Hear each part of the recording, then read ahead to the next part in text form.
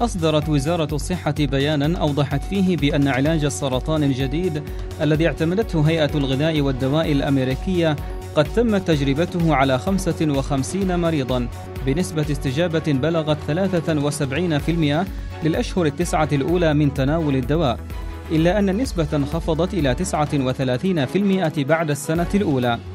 وبينت الوزارة أن الدواء موجه لأنواع معينة من السرطان وله عدة أعراض جانبية.